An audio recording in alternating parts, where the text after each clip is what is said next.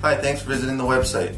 I'd like to wish everyone a happy holiday season, and I'd also like to invite everyone down for our biggest Boxing Week sale that we've ever done. From the 27th to the 31st, we will have over a thousand vehicles priced to sell.